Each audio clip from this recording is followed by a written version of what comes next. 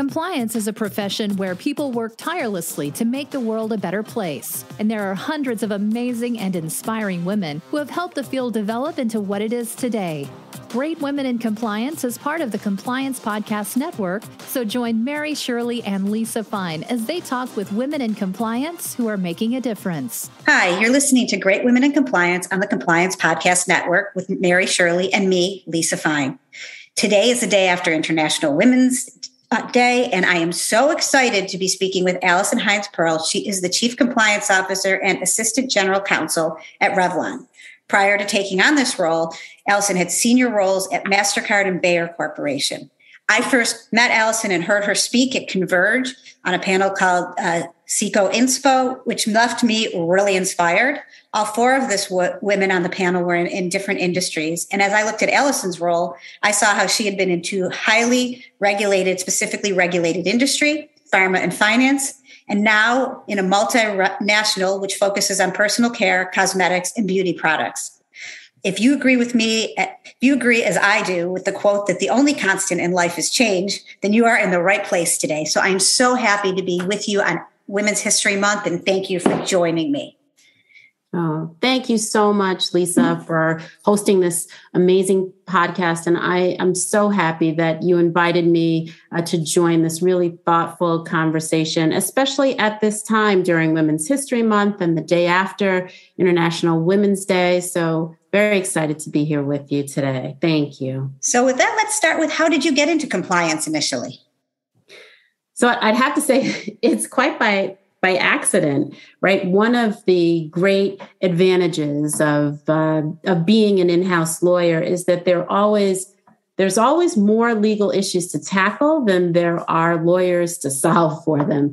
So when I started my in-house career, I, I joined uh, Quest Diagnostics to to manage litigation, and I was eventually able to expand into other disciplines that that that just piqued my my curiosity at the time, which were regulatory compliance, where I eventually supported the chief regulatory officer and the chief laboratory officer, and also public policy, which which really helped me as sort of a, a a early career lawyer understand the impact of policy on business.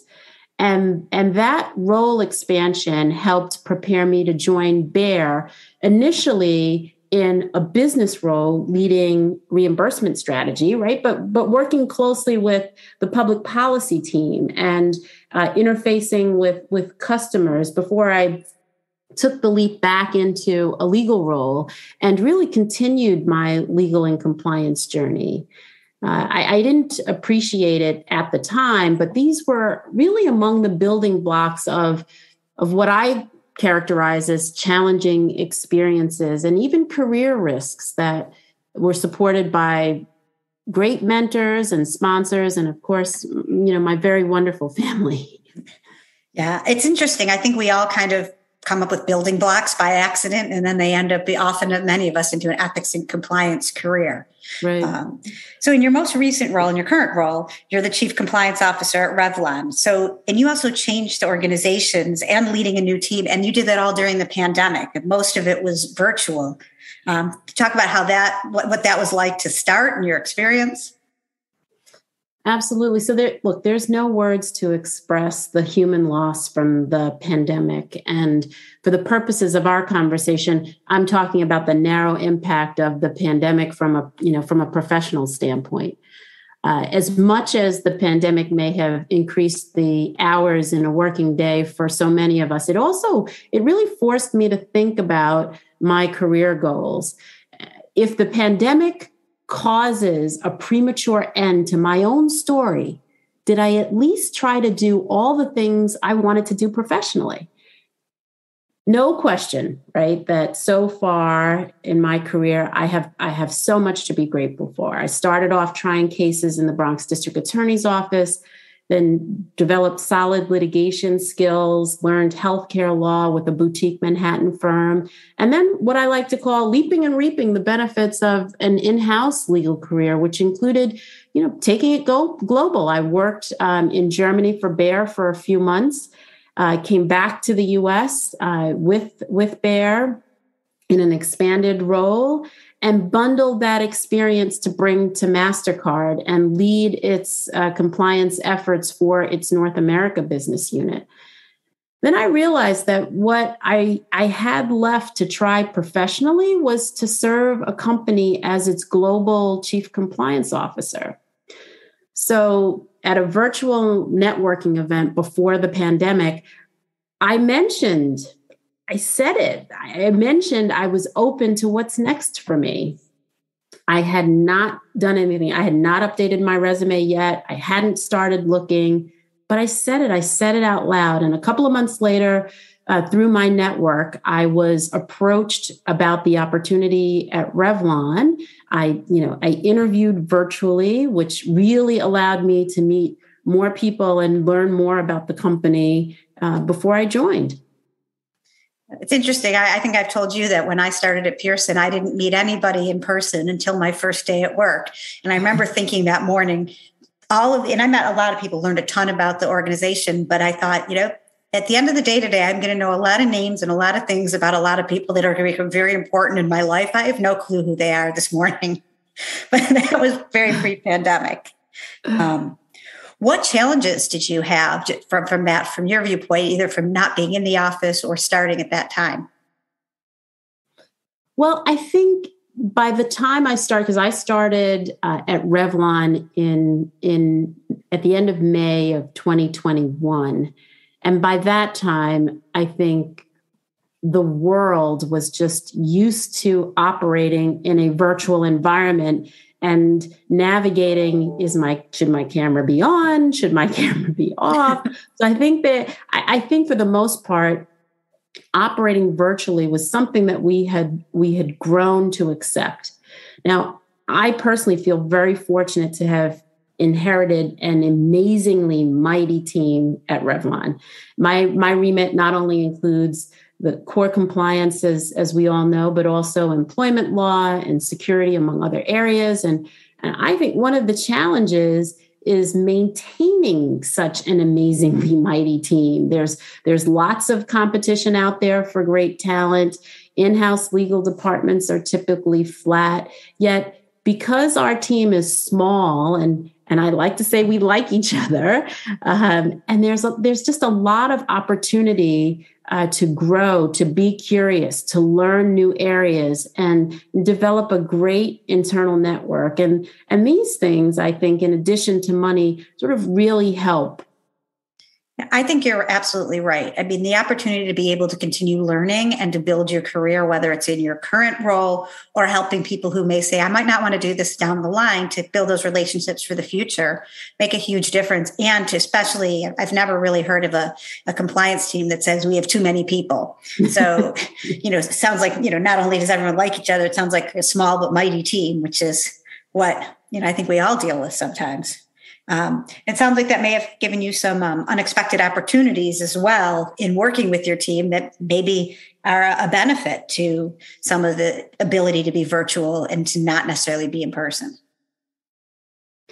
Absolutely. So, so one of the unexpected opportunities i would say is is not just with the small and mighty team that that i inherited but also working very closely with incredibly smart, savvy, and decisive women leaders. That was a really unexpected benefit in terms of joining the Revlon team. As you may know, our, our CEO is a woman, our CFO is a woman, our general counsel uh, is a woman. These are all strong, inspirational and and really visionary leaders just to name a few. I mean inclusion and diversity they really matter. And and you see it. You see it at revlon which is so important to me. Yeah that's that's just fantastic. I mean still the number of ceos and cfos women versus men is is still lagging. So to really have that as a, a leadership team is really just a fantastic thing and a fantastic group of people to collaborate with. Um, the other thing that seems unusual and, and different, um, and I've seen this in, in my experience because I've been, I've had people come in to both the companies I've worked at in house, coming from more highly regu- regulated industries like you know pharma or financial, and the difference is you still have a lot of issues in multinational corporations, but they're very different in terms of how regimented, or at least my experience has been, and sometimes, and you know, certain laws that you have to be fully accountable for. And so, one of the things I've seen is that can be a surprising change. Um, I was wondering how that had gone. You've now done it in two different contexts. I wanted to understand and hear a little more about your experience with that. Yeah. So, look from my express from my perspective, the the the common sort of compliance denominator will, if you will, across healthcare and financial services is the importance of building the right policies, having the right processes, and implementing the right tools to really empower employees in whatever business you're in to simply do the right thing. So, whether it's it's combating fraud, waste, and abuse in the healthcare sector under the watchful eye of uh, Health and Human Services Office of Inspector General, the OIG, or or managing the risk of corruption in the healthcare sector or in the financial services sector to keep the Department of Justice and the Securities Exchange Commission from knocking at your door, or or managing the risk of you know terrorist financing or money laundering in the financial services sector to satisfy the expectations of the Department of Treasury, FinCEN, the importance of an effective living breathing compliance program is is is critical. Yeah, I, I, just I know one of the things that I always find interesting is it's all about ethical decision making, but it seems like often, at least in my experience, I've also had you have a different approach of you know who is sort of the the last you know the, the last line of defense or the the organization that's looking you know into what you're doing. And i think in i've seen at least it in what i do is you do have a little more ability to be creative on how do you get people to different answers um, because you don't have some of the same you know regulatory requirements. On the other hand what you're ultimately doing is still pretty much the same no matter where you are. So yeah and I, I think there's there's you know there's for for it's no different really for for Revlon. The importance of an effective compliance program is no less important here. I mean you know some of the the basic tenets of the things that we we do every day right? Being visible being present being available for employees to to encourage them to bring issues forward right? Getting getting getting creative with risk assessments whether it's you know in a one-on-one conversation or if it's uh, through anonymous surveys um, giving giving data a voice, a voice that prompts me and, and our team to to ask more questions, to to explore uh, potential trends, and really and really think through process improvements. All of these are are are are vital across all sectors. Yeah, it, it is. And it's really important for all of us. And it also empowers people to make right decisions. And that's really what we ultimately want people to do, as well as ask us before anything, as opposed to thinking, I might just apologize later, not realizing the consequence of those actions. I think it's a, you know, and that's what I think all of us want to do in our programs. Um, and as we're talking about this, I mean, I know we've been in these, I, I know the word un, unprecedented is often overused now, but I mean, between in the last year with, with, with the pandemic um, and you're changing of companies. I mean, we've talked a bit when we've spoken about change management, and then now we even have more issues with what's going on in the world. Um, you know, what do you see some of the most significant things and significant changes um, do you have? So, you know, what I, I so what i find compelling and, and challenging about compliance at the same time is that it evolves as the business evolves and as the laws affecting the business evolve so there, there's always there's always new issues to to solve for. You know Bayer and mastercard they were really good training grounds for me to to learn how to build and sustain compliance programs that are are, are tailored to business and, and legal risk um, as as well as each company's tolerance for that risk um, so when i think about what lies ahead what uh, what has what's top of mind for me is you know before the the, the russia ukrainian conflict my my answer would have been you know, ESG, right? No question that that that how companies demonstrate innovative ways to preserve the environment, diversify their workforce, uh, protect their supply chains from issues like forced labor and and and how they maintain healthy corporate controls that will all continue to expand. Now it, it goes without saying that the russia ukraine conflict has and and it will continue to have a far reaching impact not only on its citizens but on the world really. So from a business perspective that the impact of this this conflict will extend way beyond sanctions. Uh, you know because you know what's in, what impacts businesses impacts compliance programs. So, so definitely watching closely this conflict to see how it resolves and what the lingering uh, impact of that will be. Yeah, and and I think all of us are to some degree in the business of trying to help people, um, yeah. and this is a, a di- whole different context. I think than any of us have been really prepared for thinking about in the past, um, even though we just kind of two years ago were doing something similar, trying to figure out how do you handle a global pandemic. And mm-hmm. I mean, there's so much going on in the world. Sometimes I, I, I wonder what I was worrying about back in 2015. so, you know, what do you think also? Are these the most significant changes to you in compliance right now? Um, or there's some others that, you know, come to mind? No, I think look what what's going on in the world you know whether it's whether it's the the pandemic um, whether it's uh, social justice and uh, the view and the landscape following the tragic death of George Floyd, uh, whether it's the Russia or Ukrainian conflict, all of these things they not just have a social impact, but they have an impact on on on business. And and again, what what what impacts the business impacts our compliance programs and, and how we support the business and how we help uh, assess sort of legal and compliance risk, really. And it's, I mean, you, have talked a little bit here about all of the different social justice movements and, and others. Um, as we're in Women's History Month, and last month is Black History Month. Um, you're, you're, as a woman, you're a woman of color. Do you have any specific moments or lessons you've learned that stuck with you, or what you would, you know, like to share um, in those areas? There's something that really are these things are really important to me and to the podcast, and we really want to get the benefit of other people's experiences in particular.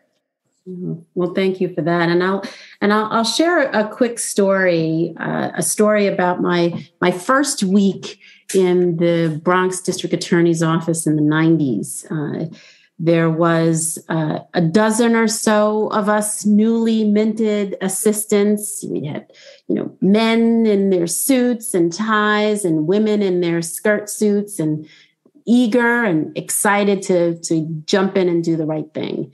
Um, senior assistants were training us. So we sat in the first row of uh, the courtroom in, in the criminal court building in the Bronx, and we were holding our criminal procedure handbooks there in our lap. And um, I wasn't the only woman in the class, but I was the, the only Black woman at that time.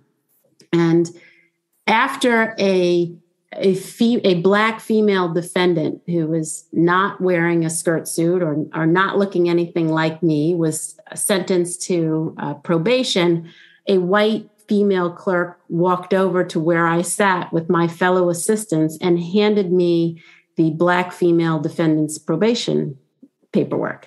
Now, I could have said a number of things, but I could hear my mother's voice saying to me, be kind, but be firm.